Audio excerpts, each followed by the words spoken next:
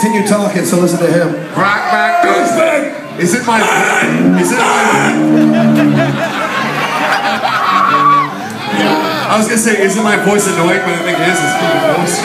All right, guys, listen. Who's wearing a do-rag and a shirt with a deer on it? Hey, fuck that! Fuck that! Fuck that! Let's do this shit. No, I look good. Know it. See, Jesse. Before we get out of here, guys, I just want to say something real quick. So, obviously, this is a, a tour. We're celebrating a record we did 10 years ago. And, uh, and we're also celebrating the fact that this asshole's back in the band.